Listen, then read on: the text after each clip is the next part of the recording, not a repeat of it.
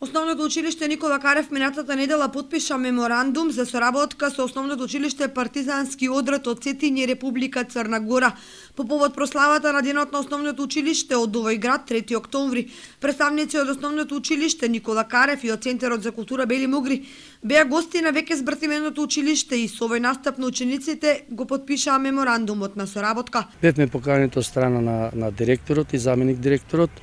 на 2 октомври има свој патронен празник, на кој патронен празник бевме удостоени со една мала група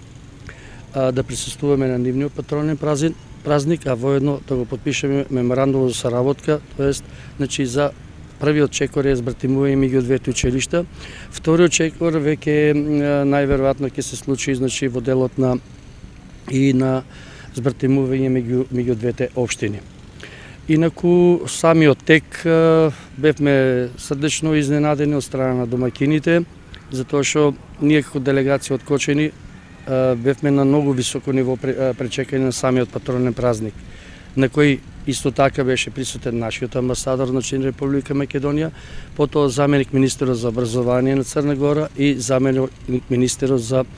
просветниот инспекторат при општина Цетење на ниво на, на Црна Гора. На свечената академија учествуваше како гостени Тамара Охом, ушеченичка од седмо оделение од основното училиште Никола Карев, која настапи со три точки, а посебно при изведбата на сплетот од македонски народни песни Јовано Јованке и Македонско девојче, беше поздравена од публиката и целата сала ги пееше споменатите песни. Е, настапивме со една точка, музичка точка, од која нашата Тамара е, беше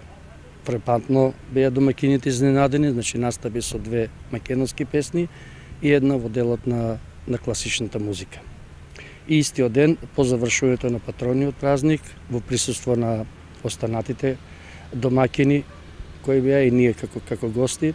го подпишаме в меморандум за работка и понатамошно поврзување меѓу двете школи во делот на воспитно-образовниот дел, во делот на размена на искуство, како во